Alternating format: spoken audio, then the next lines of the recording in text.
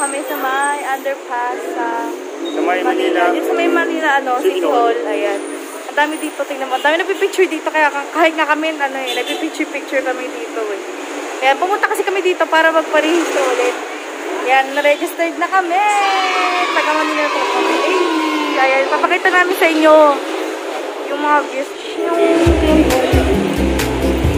Arores Forest.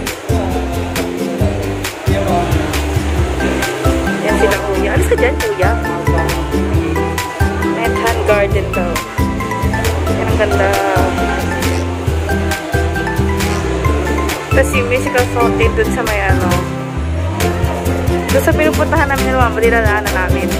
Ayan o, yan yung paggabi. Sayang hindi namin nakabutan paggabi yun eh. Ayun ang ganda.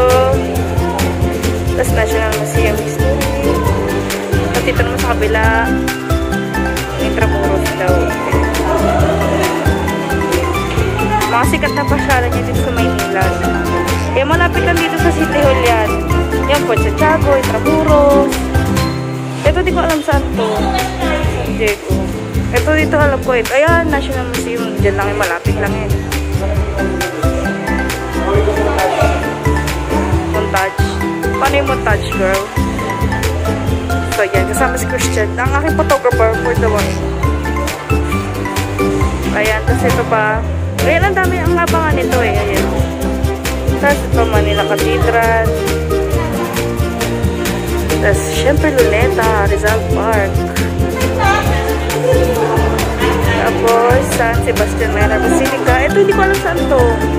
Ito, syempre, Translation. Ito, hindi ko alam yung Lakbayaw. Lakbayaw. Tapos yung guling-guling. Ano yun? Translation na. Translation pala. Di ba translation? Dami na daan. Ayan, Santa Ana Church. Tapos ito, mga drawing lang. Ang mga painting pala. Pala yung drawing. Espanyol. Si Lapu-Lapu. Si Sinoyan. Ayan, ang bagong may dito. Saan yung kasama ko? Hindi ako sinamahan dito. Ayan, si Dr. Si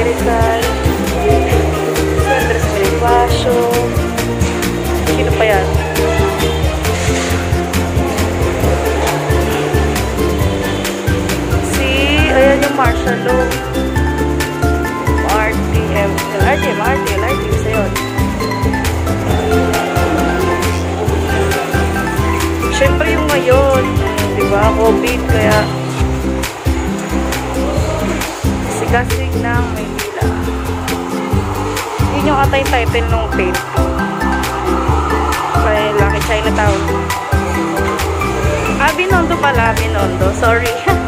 Tapos yung Jones Beach. Ay, malapit lang to dito eh. Yung mga malalapit lang talaga sila. Tapos ayan pa, meron pa doon. Sa... Hindi naman pala. Ito pala yung mga sa ads na. Kasi yan, paakyat na. Papunta na City Hall yun doon. Ayun, nakakaya dami tao. Guys. Hindi kasama si Christian pumunta doon. Ako lang pumunta doon, nakakahiya. Iniwan niya ako doon. Then, punta-punta kami. Ito pala, no? Eh, ito yung mga ibang picture na kinuha ni Christian.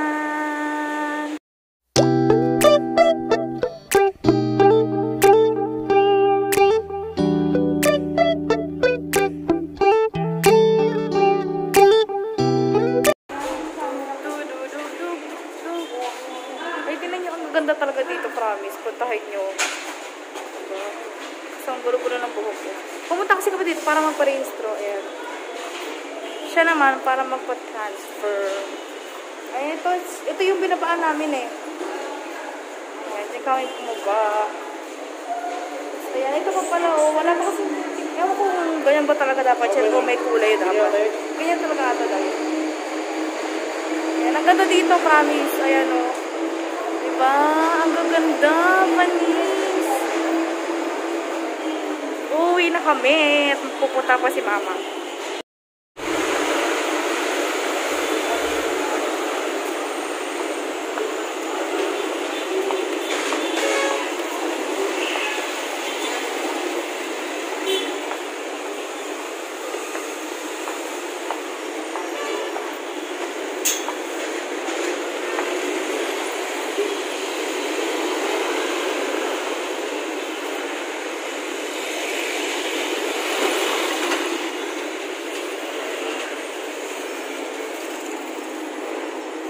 Ito yung Manila City Hall. Yan, uuwi na kami. Ano lang ano, music mo? Ten, ten, ten, ten, ten, ten, ten. Ayan, ang ganda dito, grabe. Tapos, dun yung Jones Bridge, dun yung Intramuros. Tapos ito yung Katipunan. Tapos yung fountain, dyan din yon. Ano pa ba? Basta madami dun eh. Dun sa parting yon madami dun. As in, dun yung Intramuros.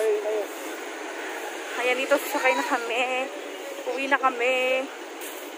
Ayan, tas din yung SM Manila. Ayan, o.